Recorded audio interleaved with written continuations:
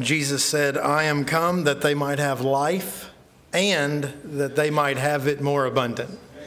And uh, as if it wasn't enough that he would give us life, but he gives us life more abundant. He said, like a wellspring springing up within us unto, ever, into uh, eternal life. And I'm, I'm thankful for that.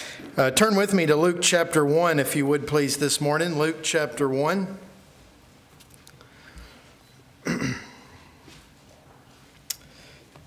For those that have been visiting, uh, for those that are visiting with us this morning, uh, we have been in a series on Sunday mornings for a significant amount of time now. I don't even know how many uh, weeks of looking for Jesus in every book of the Bible. And of course, when we get to, when we turn the corner out of the Old Testament into the New Testament, that gets a lot easier to do. Not that it was real difficult to do before that, but it gets a lot easier uh, when you get into the Gospels. And, uh, and we're in uh, Luke now. And so through the Gospels, we're doing something just a little bit different. Instead of finding Jesus in the Gospel of Luke, which is very easy to do, uh, we're finding about how Jesus, the Jesus of Luke, fulfilled a lot of those Old Testament promises and things that we looked at when we were coming through the Old Testament. And this morning I want us to look in Luke chapter 1 and uh, verse number 46 is where we're going to start. Now, when we start reading here, um, I'm going to just say this in introduction and then move on that the Roman Catholics have hijacked, unfortunately, and somewhat perverted just about anything that the Bible says about Mary in the Bible. It's an incredibly unfortunate thing because the Catholics seek to make her uh, more than she was and try to make her a mediator or a way to God or a way to Jesus or, or something like that, and that's just simply not accurate. But to the other extreme, when the pendulum swings the other way, there are some who, in opposition to Roman Catholicism, basically make her less than what she is. So, who is she? Well, she's a girl. She's a young lady in this passage. That's exactly who she is. But let's not forget that even God Himself said that she was highly favored and that she was blessed by God. And so we're not going to act like, well, nothing significant about Mary. Are you kidding me? There's nothing significant about the, the woman that God chose to bring the Christ into the world? Of course there is. Of course that's blessed. Of course that's uh, worthy of honor and significance there. But she's not a mediator. She's not a Savior. She's not the Savior. Uh, she needed a Savior. She had to trust in her own Son for salvation. And so when she is told that she's going to be bearing the Christ child and that the, the child that is in her womb is there, conceived of the Holy Ghost, then there were some issues. It was not without problems, it was not without difficulties. She was espoused to a man that she was to be married to. But this did not look good because she had not uh, she had not known a man, but all of a sudden she's pregnant. Now everybody else in the world is going to say, "Yeah, right." And so even uh, Joseph himself thought to put her away privately because of her being with child. But an angel came to him and reassured him that that which was in Mary was of the Holy Ghost, and that this was God doing a miraculous thing in fulfillment of his promises to uh, the fathers of Israel and to the nation of Israel in the Old Testament. And so she goes away for a while. She goes to visit her cousin, uh, Elizabeth, who is also with child. And the child that she has in her womb is going to come to be known as John the Baptist. And when Mary walks into the room and speaks to Elizabeth, then John the Baptist in Elizabeth's womb leaps for joy that the Christ is there. Now we know this because the Bible tells us this. And, uh, and so then the Holy Spirit comes upon Elizabeth. And what she says under the leadership of the Holy Spirit, first word she said is blessed or blessed. She said, Blessed art thou among women, and blessed is the fruit of thy womb. Now, this is in verse 42, if you wanted to follow along there. Verse 43 And whence is this to me that the mother of my Lord should come to me? For lo, as soon as the voice of thy salutation sounded in mine ears, the babe leaped in my womb for joy. And blessed is she that believed, for there shall be a performance of those things which were told her from the Lord. And now Mary responds to what Elizabeth has just said. This is exciting. Mary says in verse 46 And Mary said, My soul doth magnify the Lord, and my spirit hath rejoiced in God my Savior. For he hath regarded the low estate of his handmaiden. For behold, from henceforth all generations uh, from, from henceforth, all generations shall call me blessed. For he that is mighty hath done to me great things, and holy is his name and his mercy is on them that fear him from generation to generation. He hath showed strength with his arm. He hath scattered the proud in the imagination of their hearts. He hath put down the mighty from their seats and exalted them of low degree. He hath filled the hungry with good things, and the rich he hath sent empty away. He hath holpen his servant that word holpen is not one that usually appears in our daily vocabulary, but it simply means this He has supported or helped. Uh, he has supported or helped. He has holpen his servant Israel in remembrance of his mercy as he spake to our fathers, to Abraham, and to his seed forever. Heavenly Father, thank you for your word this morning, and I pray that you'd speak to our hearts, Lord. Thank you for giving us your word. Thank you for this wonderful revelation and help us, I pray, in Jesus' name. Amen. Well, verses 46 through 55 are, if you were to Google this or look this up, it would be called the Magnificat. And once again, that's a, primarily a Catholic terminology as it was turned into a song or a hymn to be sung in the Catholic Church, but I got to tell you, we would sing that song in our church because it comes right out of the scripture and it's Mary's praise to the Lord. Now, what they might mean when they sing it might be different than what we would mean when we sing it because we believe that Mary is magnifying, rejoicing in, glorifying the Lord because the Lord is worthy of being magnified. He's worthy of being praised. He's worthy of being glorified. But what's interesting to me is Elizabeth looks at her, and by the Holy Spirit, Elizabeth says, You are blessed. And here's what Mary does with that. I love this. She takes that blessing and she directs it right to the source of all blessing.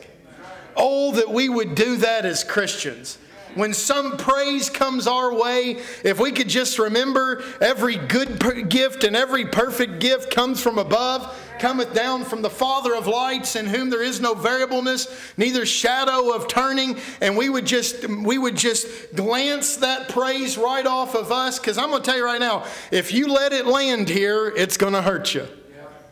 If you let it land here, it, it, it has a tendency to cause swelling in the head. And that's not good for anybody. But when praise comes our direction for some good or for some blessing, if we can just say, My soul doth magnify the Lord, I, I want to give God the credit for this. I want to give God the praise for this because of, not because of what I'm doing, but because of what God is doing. That's the big picture that's going on here. Uh, Mary's saying, I just get to be a part. And don't get me wrong, she's saying, I'm honored to play the part that God has chosen for me.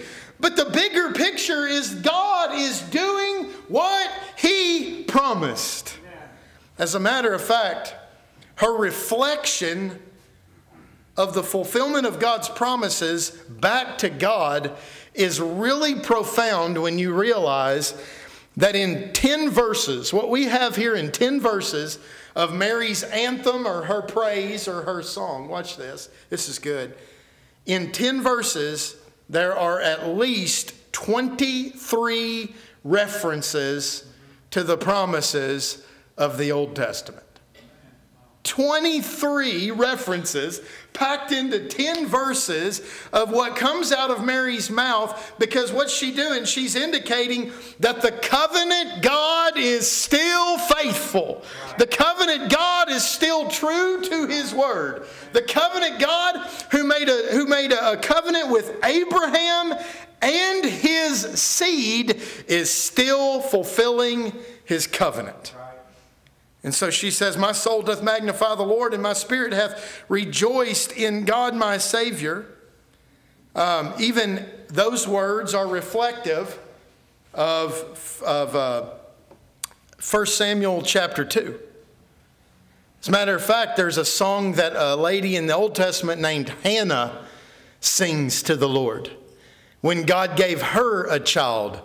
And Mary took a page right out of Hannah's songbook and even duplicated some of the language in Hannah's song. There's at least five references to the praise that Hannah gave God for Samuel, her child, that Mary repeats here, tying this back into Old Testament praise to a covenant faithful God. And then she says this For he hath regarded the low estate of his handmaiden, for behold, from henceforth all generations, now listen to this, shall call me blessed. That is a direct reference to a promise God made. Back in Genesis chapter 12, God said to Abraham, Abraham, I'm, I'm going to bless thee, and in thee all the nations of the earth will be blessed, and they will call you a blessing, Abraham. That's what's going to happen. And so now, when Mary realizes what God is doing in her physical body, she says, Look, here's what's happening here. Uh, this sounds kind of arrogant, I'll be honest.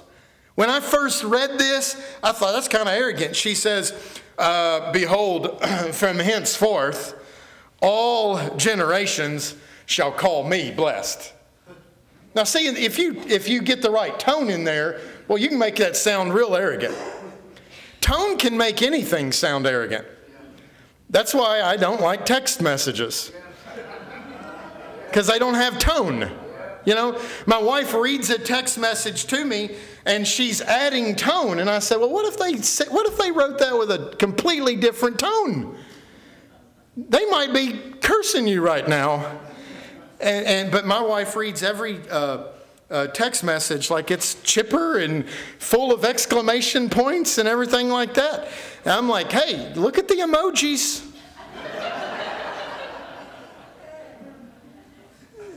that, that'll give you a clue. It'll give you a clue. I, look, I, I believe in tone. So most of my texts are emojis. Because if I don't get the words across, I want them to get my tone. It's that important.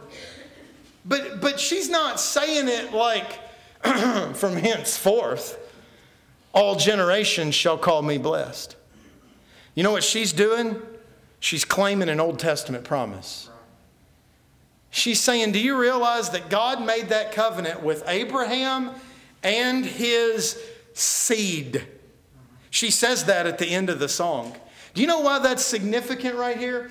It's significant because Paul wrote in Galatians chapter 3 and verse 16, he, he did not say, as unto seeds, which are many. He's not talking about when he says unto Abraham and his seed, he's not making a covenant with Abraham and all of the descendants of Abraham. He's promising a covenant with Abraham and his seed, which is one, which is Christ.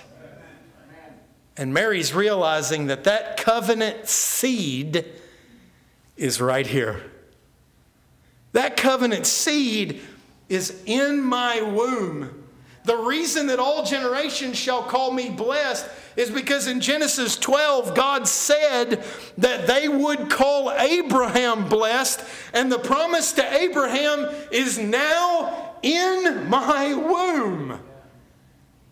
That's why I'm blessed. She's, she's saying, I'm not blessed because I'm somebody, but I'm blessed because I'm carrying somebody.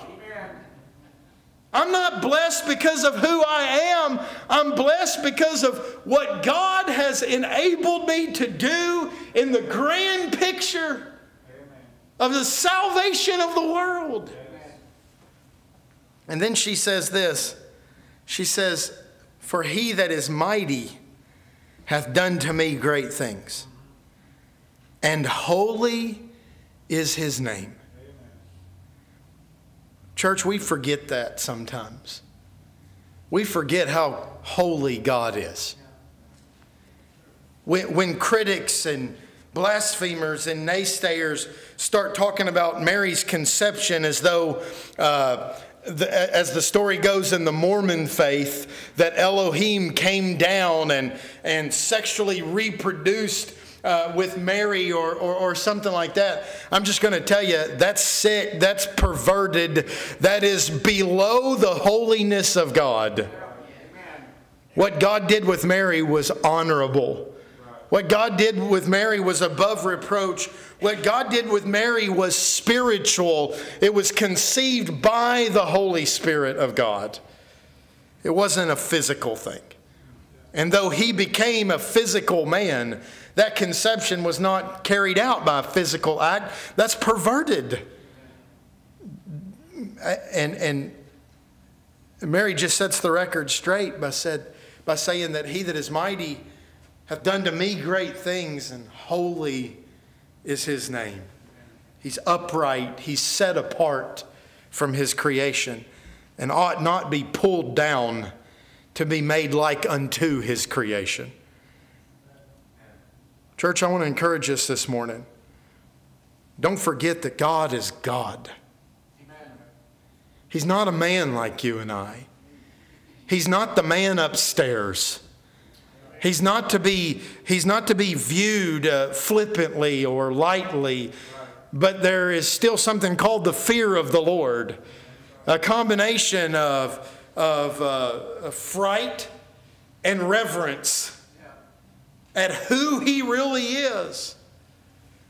The true and living God of the Bible is not a creature, he is the creator, which sets him above all of creation. He doesn't think like we think. He doesn't act like we act. He doesn't behave like we behave. He's altogether holy. In verse 50, now we come into another stanza of the psalm. And Mary doesn't speak from uh, a, uh, as much of a personal uh, testimony anymore of what God's doing with her, but what God's doing on the whole for the world because of what is about to come about through her. In verse 51, he has showed strength with his arm. He has scattered the proud in the imagination of their hearts. Now, these next few verses, they could have a direct correlation to Mary because the truth is, we don't know what Mary began to face when people around her started realizing that she was with child and not yet married to Joseph. What we do know is this we do know the environment that she's in. We know how the religious leaders would have treated this in her day. They would have wanted her stoned. They would have wanted the fulfillment of the Pharisaical Old Testament law. Well, she's obviously guilty, and so uh, she needs to be uh, she needs to be punished for this action, and that might have been the very reason that, that Joseph uh, had her go away for a while and spend the time at Elizabeth's house. But Mary had realized this that in verse number 50, His mercy is on them that fear him from generation to generation. He has showed strength with his arms. He hath scattered the proud in the imagination of their hearts. He hath put down the mighty from their seats and exalted them of low degree. He hath filled the hungry with good things, and the rich he hath sent away empty. Now, this is very common terminology from the Old Testament, Testament away in declaring that the coming kingdom of the Messiah would be backwards from what earthly kingdoms look like. Sure enough, 30 years later from this time right now, Jesus is going to start his public ministry teaching.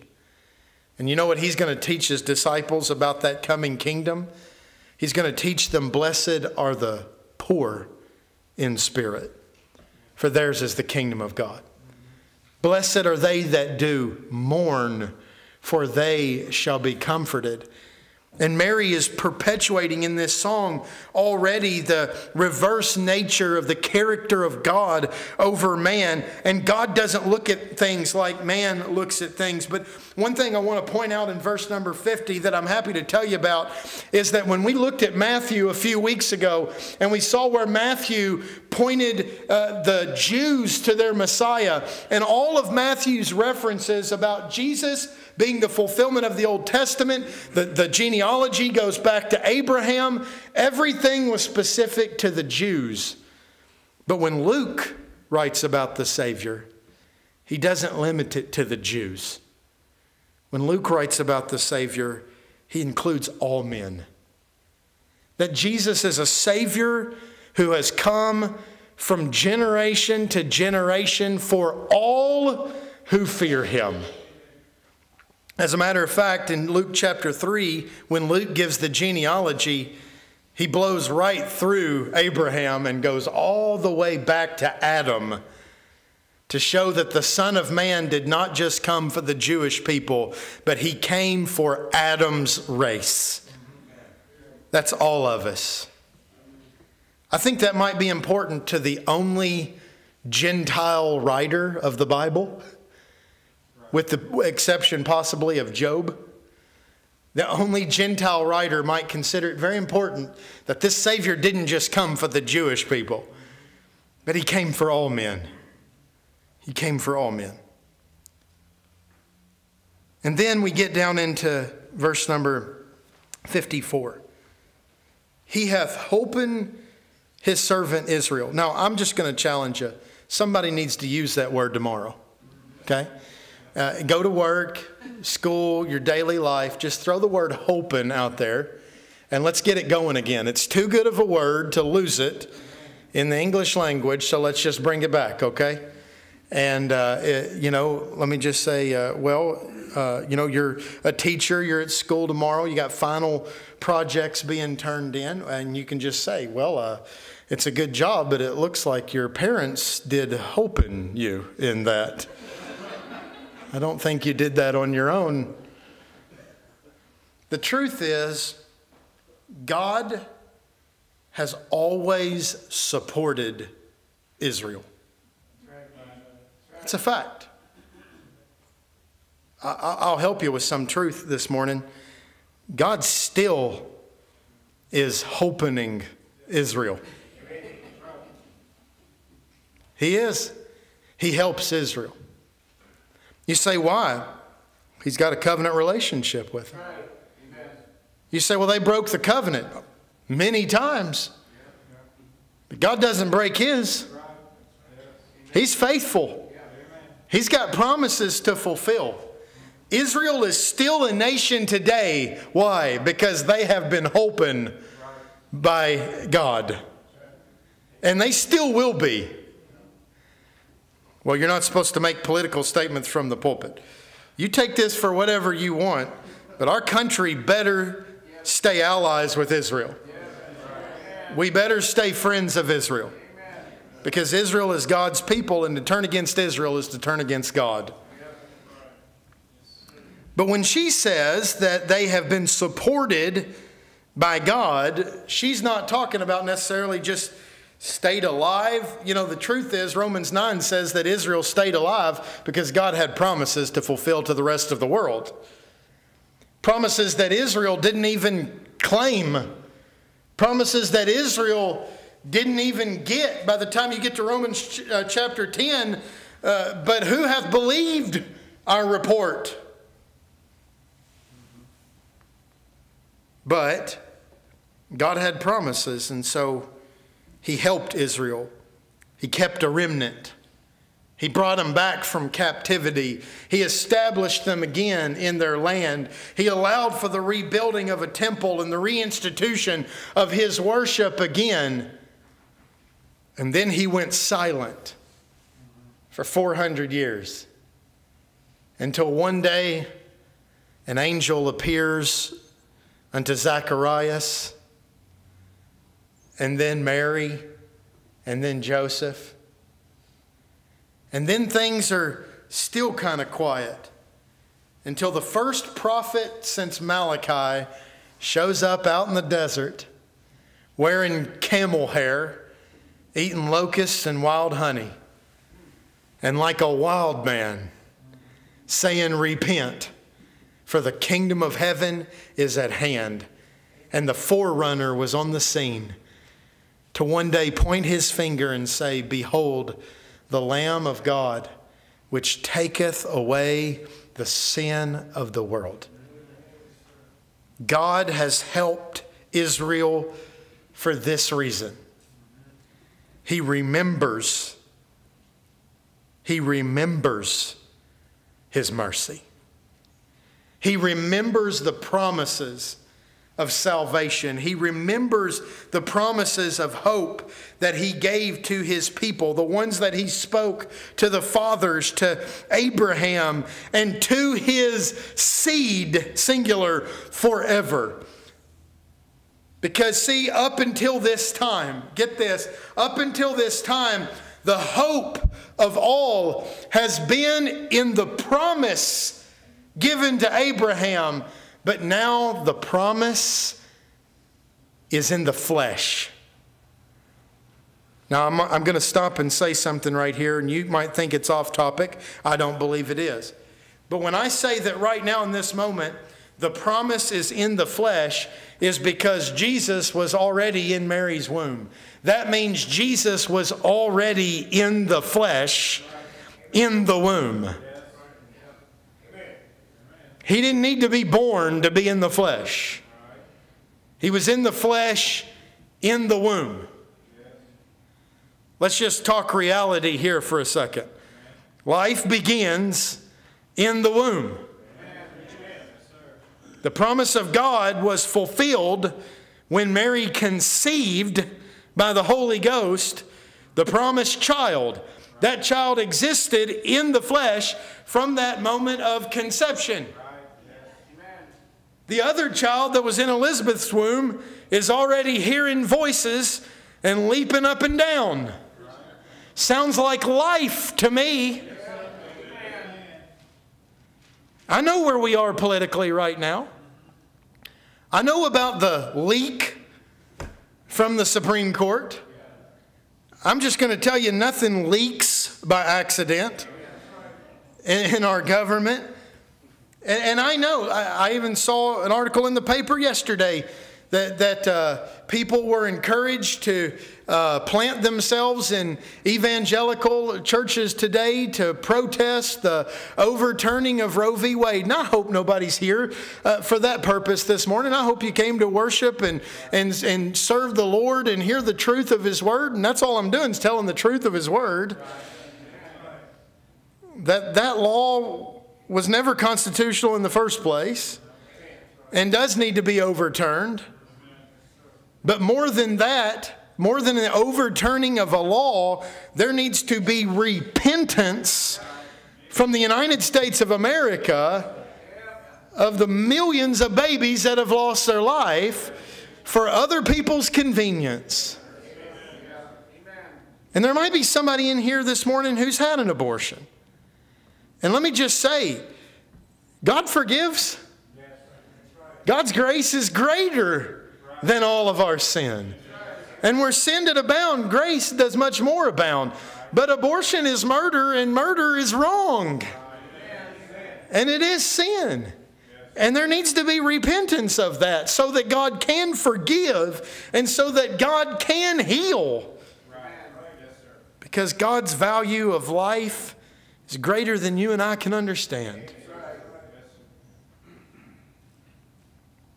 I don't know if you ever thought about this, but in the difficult days of finding out that she was with child and not married, I'm glad that Mary didn't run down to a clinic. You say, well, God wouldn't have let that happen.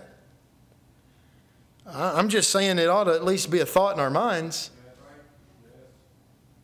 Uh, I'm glad there was somebody here that said, We're having this baby. And let me just tell you, you don't need a you don't need an angel to appear in the night to tell you that that baby that's in your womb is worth something. Because it is. You say, well, people look down upon me for how it got there. And there's always consequences for sin, make no mistake about that. But that child has value.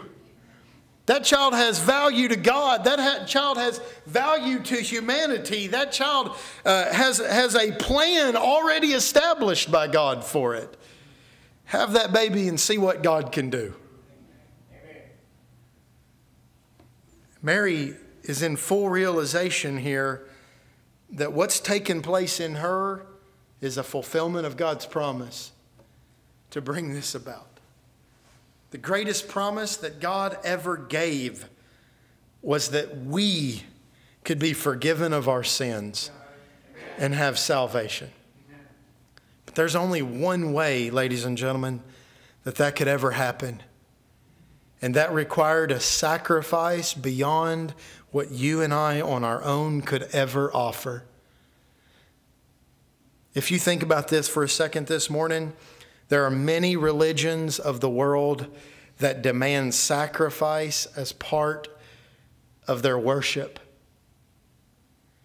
But in all of those religions, it is the God, the deity, that demands sacrifice from its followers.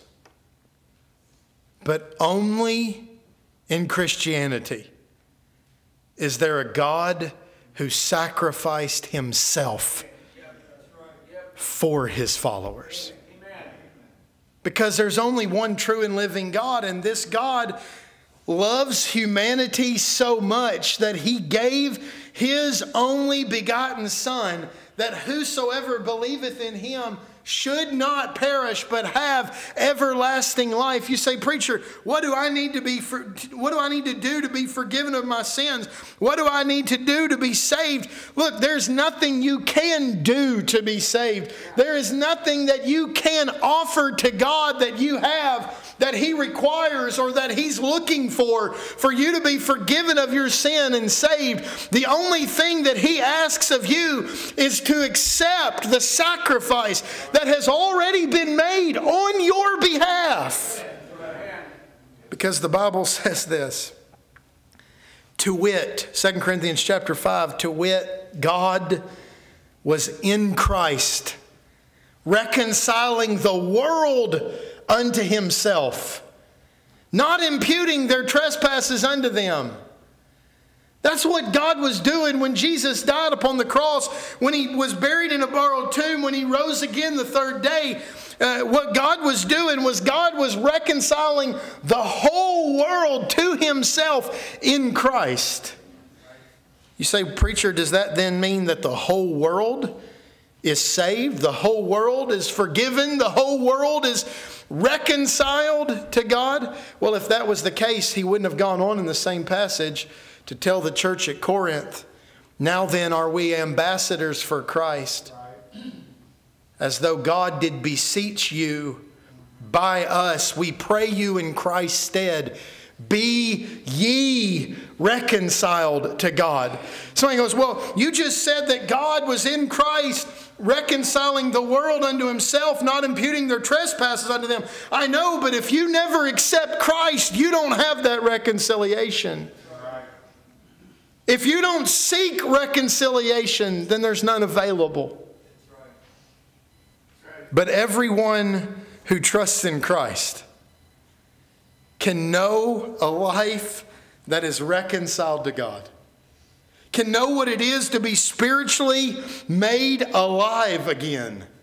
And not just made alive, but to have abundant life. I got to tell you, when I got saved, when the Lord forgave me of my sin, I cannot explain the peace that passes all understanding. I can't explain to you the joy unspeakable and full of glory. I can't explain to you what it's like uh, to uh, fully, I can't explain to get up in the morning and know my life has purpose today. My life has meaning today because I am to live for the glory of the one who died for me and lives again. And one day I'm going to see him face to face. And as Mary realizes that people are calling her blessed, she doesn't say, No, don't do that, because she realizes she is. Look, if you call me a blessed person, I'm not going to say, no, don't call me blessed. You know why? Because I am a blessed person. And think about this the reason I'm blessed is the same reason Mary said she was blessed. Well, preacher, why did she say that she was blessed? Now, listen to this because Christ was in her. You know why I'm blessed this morning? Yes. Because Christ is in me. Amen. Well, preacher, you don't even have a womb. No, I don't mind telling you, I am biologically and in every other way male. I uh, heard a woman this week say, I have a womb, but I'm not female. And that's the messed up, very confused society that we live in today. No, I don't need a womb for Jesus to live in me. But Paul wrote to the Colossians and he said this Christ in you, the hope of glory. And as a five year old boy, when I realized I was a sinner and I needed a Savior, I believe that Jesus died for me on the cross and rose again to be a living Savior. And I called upon him and I asked him to forgive me of my sin and save you. And I'm telling you, he moved in.